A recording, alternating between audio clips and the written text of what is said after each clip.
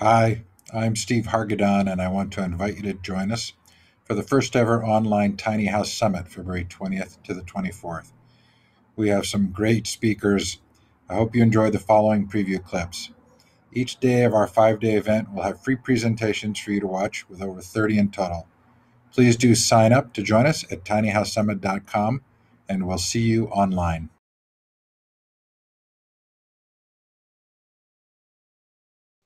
Because I started out just um, with my own belief that the system's pretty messed up right now, or I guess it was when I started doing this uh, 20 years ago or 17 years ago. Um, I jumped straight to the solution rather than dwelling in the problem because the problem is something we've been dwelling in for an awfully long time. I still go for the uh, let's just do it approach of, um, well, you know, common sense seems like a good thing to me still to this day. And we have a huge housing problem. Why not just use common sense and house people simply? Affordable housing by building affordable houses.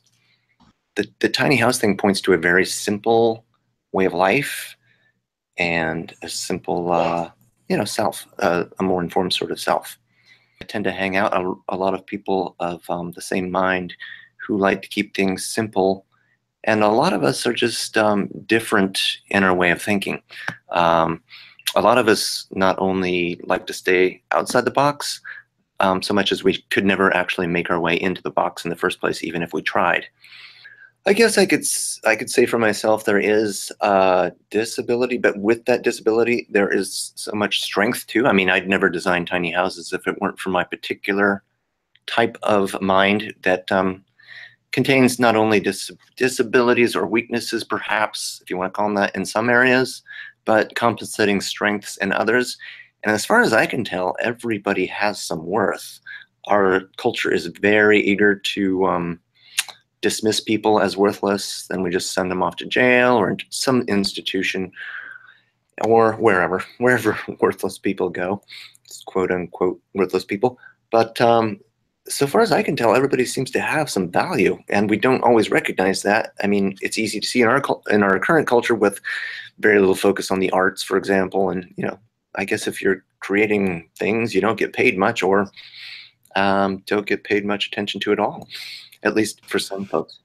My main passion is design, it really efficient design, and figuring out what an archetypal house would be what really it boils down to in the end.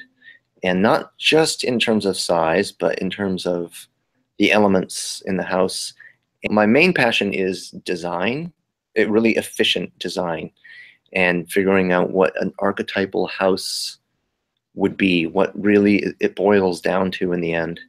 And not just in terms of size, but in terms of the elements in the house and um, like what is the most efficient wall? What is you know what's the most affordable wall with no extra parts that works great?